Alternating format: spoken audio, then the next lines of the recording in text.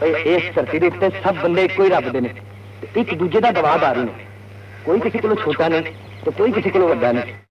ਅਸਲਾਮ ਵਾਲੇਕਮ ਜੀ, ਮੈਂ ਸੱਜਾਦ ਦਦਰਾ ਤੇ ਤੁਸੀਂ ਵੇਖ ਰਹੇ ਹੋ ਮੇਰਾ YouTube ਦਾ ਚੈਨਲ ਵੇਖੋ ਪੰਜਾਬ। ਸੋਹਣਿਓ ਅਗਰ ਨਵੇਂ ਹੋ ਤੇ ਚੈਨਲ ਨੂੰ ਸਬਸਕ੍ਰਾਈਬ ਕਰ ਲਓ, ਕਿਉਂਕਿ ਮੈਂ ਤੁਹਾਨੂੰ ਐਸੀ ਇੱਕ ਜਾਣਕਾਰੀ ਦੱਸਣ ਜਾ ਰਿਹਾ ਹਾਂ ਕਿ ਜਿਹੜਾ ਸੁਣ ਕੇ ਤੁਹਾਨੂੰ ਸਰੂਰ ਆਏਗਾ।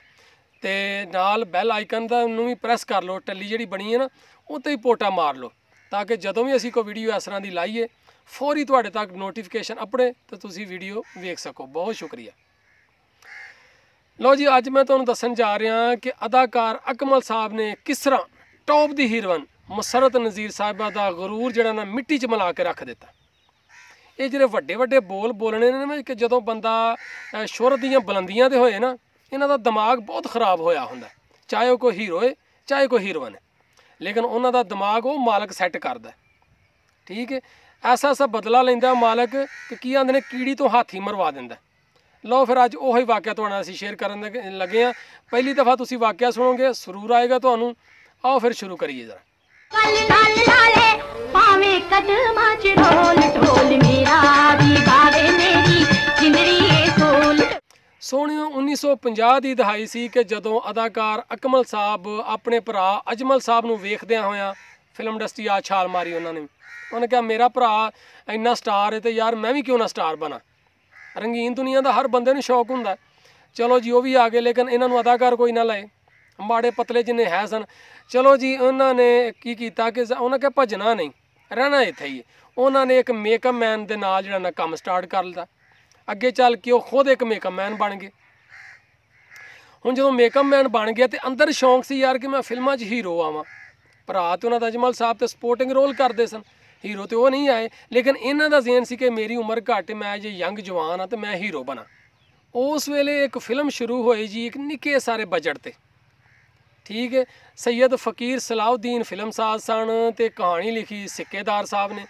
ਉਹਨਾਂ ਸੋਚਿਆ ਇੱਕ ਪੰਜਾਬੀ ਆਪਣੇ ਹੀਰੋ ਤੇ ਫਿਲਮ ਬਣਾਈਏ। ਫਿਲਮ ਦਾ ਨਾਮ ਰੱਖਿਆ ਜਬਰੂ। ਹੁਣ ਇਸ ਫਿਲਮ ਵਾਸਤੇ ਹੀਰੋ ਕਾਸਟ ਕਰਨ ਵਾਸਤੇ ਉਹਨਾਂ ਕੋਲ ਸਲਾਉਦੀਨ ਸਾਹਿਬ ਕੋਲ ਪੈਸੇ ਨਹੀਂ ਹੈ ਨਹੀਂ ਸਨ। ਲਿਹਾਜ਼ਾ ਉਹਨਾਂ ਨੇ ਇਸੇ ਮੁੰਡੇ ਮੇਕਅਪ ਮੈਨ ਨੂੰ ਚੁੱਕ ਲਿਆ। ਉਹਨੇ ਕਿਹਾ, ਇਹਨੂੰ ਹੀਰੋ ਲੈਨੇ ਆ ਰੱਬ ਦੀ ਸ਼ਾਨ ਤੁਸੀਂ ਵੇਖਿਓ। ਹੁਣ ਉਹਦੇ ਨਾਲ ਹੀਰੋਇਨ ਲੈਣ ਵਾਸਤੇ ਉਹਨਾਂ ਸੋਚਿਆ, ਯਾਰ, ਕਿ ਹੀਰੋ ਤੇ ਐਸੇ ਤਰ੍ਹਾਂ ਹੀ ਮੁੰਡਾ ਨਵਾਂ ਹੀ ਲੈ ਲਿਆ। ਤੇ ਕਿਉਂ ਨਾ ਕੋਈ ਟੌਪ ਦੀ ਹੀਰੋਇਨ ਜਿਹੜੀ ਆ, ਉਹ ਲੈ ਲਈਏ? ਉਹਨਾਂ ਨੇ ਸੋਚਿਆ ਕਿ ਮਸਰਤ ਨਜ਼ੀਰ ਸਾਹਿਬਾਂ ਨੂੰ ਕਾਸਟ ਕਰਨੇ ਆ। ਲਿਹਾਜ਼ਾ ਉਹਨੂੰ ਸਾਈਨ ਕਰਨ ਵਾਸਤੇ ਉਹਦੇ ਘਰ ਅਪੜ ਗਏ। ਹੁਣ ਜਦੋਂ ਘਰ ਗਏ ਨੇ, ਉਹਨਾਂ ਨੇ ਸਾਫ਼ ਇਨਕਾਰ ਕਰ ਦਿੱਤਾ ਕਿ ਜਦੋਂ ਸੁਣਿਆ ਕਿ ਹੀਰੋ ਮੇਕਅਪ ਮੈਨ ਮੁੰਡਾ ਅਕਮਲ। ਉਹਨੇ ਕਿਹਾ, ਮੈਂ ਤਾਂ ਨਹੀਂ ਕੰਮ ਕਰਨਾ, ਮੈਂ ਆਪਣਾ ਨਾਂ ਖਰਾਬ ਕਰਨਾ। ਯਾਨੀ ਕਿ ਇੱਕ ਨਫ਼ਰਤ ਦਾ ਇਜ਼ਹਾਰ ਕੀਤਾ, ਇੱਕ ਕਮਤਰੀ ਦਾ, ਇੱਕ ਹਕੀਰ ਦਾ, ਹਕੀਰ ਯਾਨੀ ਕਿ ਉਹਨਾਂ ਨੂੰ ਜਾਣਿਆ, ਅਕਮਲ ਸਾਹਿਬ ਨੂੰ। ਕਿਉਂ, ਕੀ ਮੁੰਡਾ ਯਾਰ, ਉਹ ਮੇਰੇ ਨਾਲ ਹੀਰੋ ਆਏਗਾ ਹੁਣ, ਮੈਂ ਟੌਪ ਦੀ ਹੀਰੋਇਨ, ਉਹ ਇੱਕ ਮੇਕਅਪ ਮੈਨ ਚਲੋ ਜੀ, ਉਹ ਮਾਯੂਸ ਹੋ ਕੇ ਵਾਪਸ ਆ ਗਏ, ਵੇਖਿਓ ਹੁਣ ਉਹਨੇ ਵੱਡੇ ਬੋਲ ਕਿਵੇਂ ਬੋਲੇ ਤੇ ਰੱਬ ਕਿਸ ਤਰ੍ਹਾਂ ਉਹਦਾ ਜਿਹੜਾ ਗਮੰਡ ਤੋੜੇਗਾ? ਉਹਨਾਂ ਜੀ ਸ਼ੌਕਤ ਹੁਸੈਨ ਰਿਜ਼ਵੀ ਸਾਹਿਬ ਦੀ ਬੀਵੀ ਡਾਇਰੈਕਟਰ ਸ਼ੌਕਤ ਹੁਸੈਨ ਰਿਜ਼ਵੀ ਸ਼ਾਹਨੂਰ ਸਟੂਡੀਓ ਵਾਲੇ ਮਾਲਕ, ਉਹਨਾਂ ਦੀ ਬੀਵੀ ਯਾਸਮੀਨ ਨੂੰ ਹਾਇਰ ਕਰ ਲਿਆ, ਸਾਈਨ ਕਰ ਲਿਆ, ਹੀਰੋਇਨ ਲੈ ਲਿਆ। ਜਦੋਂ ਇਹ ਫਿਲਮ ਬਣਨੀ ਸ਼ੁਰੂ ਹੋਈ ਤੇ ਸਟੂਡੀਓ ਵਿੱਚ ਵੀ ਰੌਲੇ ਪੈ ਗਏ। ਦਵਾਈ ਪੈ ਗਈ, ਉਹ ਜੀ ਮੇਕਅਪ ਮੈਨ ਮੁੰਡਾ ਹੀਰੋ, ਲੈ ਲੋਕੀ ਹੱਸਣ, ਮਜ਼ਾਕ, ਠੱਠਾ ਕਰਨ। ਜਿੱਧਰ ਇਹ ਟੀਮ ਲੰਗੇ ਸ਼ੂਟਿੰਗ ਸ਼ੁਰੂ ਹੋਏ, ਉਹ ਆਇਆ, ਵੇਖੋ ਜੀ, ਇਹ ਫਿਲਮ ਨਾ ਚੱਲੀ। ਚਲੋ ਜੀ, ਉਹ ਆਪਣੇ ਧਿਆਨ ਨਾਲ ਜਿਹੜੇ ਇਹਨਾਂ ਸਿੱਕੇਦਾਰ ਸਾਹਿਬ ਤੇ ਸਲਾਉਦੀਨ ਸਾਹਿਬ ਲੱਗੇ ਰਹੇ। ਚਾਂਦੀ ਮੈਂ ਤੇਰੇ ਲਈ ਸੋਨੇ ਦੀਆਂ ਡੰਡੀਆਂ ਲੈ ਆਇਆ ਵਾਂ। ਵਿਖਾ ਹਾਏ ਕਿੰਨੀਆਂ ਸੋਹਣੀਆਂ। ਤੇ ਇਹ ਫਿਲਮ ਜਦੋਂ 6 ਜੁਲਾਈ 1956 ਨੂੰ ਸਿਨੇਮਾ ਤੇ ਰਿਲੀਜ਼ ਹੋਈ ਇਹਨੇ ਇੱਕ ਧਮਾਕਾ ਕਰ ਦਿੱਤਾ। ਐਸੀ ਸੁਪਰ ਡੁਪਰ ਹਿੱਟ ਫਿਲਮ ਹੋਈ ਕਿ ਹੋਸ਼ ਗੁੰਮ ਹੋ ਜੇ ਹੋ ਗਏ ਮਸਰਤ ਨਜ਼ੀਰ ਦੇ ਵੀ। ਠੀਕ ਹੈ ਦਿਨ ਵਿੱਚ ਅੱਲਾਹ ਪਾਕ ਨੇ ਉਹਨੂੰ ਤਾਰੇ ਵਿਖਾ ਦਿੱਤੇ ਕਿ ਜਿਸ ਬੰਦੇ ਤੋਂ ਇਨ- ਤੂੰ ਇਨਕਾਰ ਕੀਤਾ ਸੀ ਇੱਕ ਹਕੀਰ ਜਾਣਿਆ ਸੀ।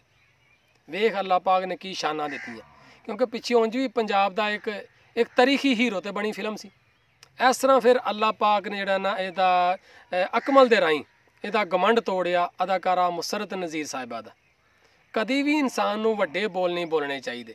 ਜਦੋਂ ਬੰਦਾ ਅਰੂਜ ਤੇ ਹੁੰਦਾ ਹੈ ਨਾ, ਉਦੋਂ ਸੋਚਣਾ ਚਾਹੀਦਾ ਯਾਰ ਕਿ ਕਿਸੇ ਵੇਲੇ ਵੀ ਜ਼ਵਾਲ ਆ ਸਕਦਾ ਕਿਉਂਕਿ ਅਰੂਜ ਨੂੰ ਹੀ ਜ਼ਵਾਲ ਹੁੰਦਾ ਇਸ ਵਾਸਤੇ ਗੁਜ਼ਾਰਿਸ਼ ਹੈ ਕਿ ਕਦੀ ਵੱਡੇ ਬੋਲ ਨਾ ਬੋਲੋ, ਨਹੀਂ ਤੇ ਫਿਰ ਅੱਲਾਹ ਪਾਕ ਇਸ ਤਰ੍ਹਾਂ ਮਤ ਦਿੰਦਾ ਇਸ ਤਰ੍ਹਾਂ ਹੀ ਅਕਲ ਠਿਕਾਣੇ ਲਿਆਉਂਦਾ ਕਿ ਜਿਸ ਤਰ੍ਹਾਂ ਮਸਰਤ ਨਜ਼ੀਰ ਸਾਹਿਬਾ ਦੀ ਠਿਕਾਣੇ ਆਈ। ਕਿਹਦੇ ਕੋਲੋਂ? ਇੱਕ ਮੇਕਅਪ ਮੈਨ ਨੇ ਜਨਾਬ ਅਲੀ, ਇਹਦਾ ਗਮੰਡ ਜਿਹੜਾ ਗਰੂਰ ਜਿਹੜਾ ਨਾ, ਮਿੱਟੀ 'ਚ ਮਿਲਾ ਕੇ ਰੱਖ ਦਿੱਤਾ।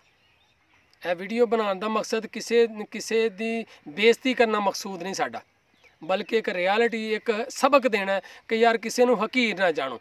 ਕਦੋਂ ਮਾਲਕ ਕਿਸੇ ਤੇ ਮਿਹਰਬਾਨ ਹੋ ਜਾਏ, ਕਿਸੇ ਨੂੰ ਕੋਈ ਪਤਾ ਨਹੀਂ। ਲਿਹਾਜ਼ਾ ਅੱਲਾਹ ਪਾਕ ਜੀ ਉਹਨਾਂ ਦੇ ਅਦਾਕਾਰਾਂ ਦੇ ਦਰਜਾਤ ਬੁਲੰਦ ਫਰਮਾਏ।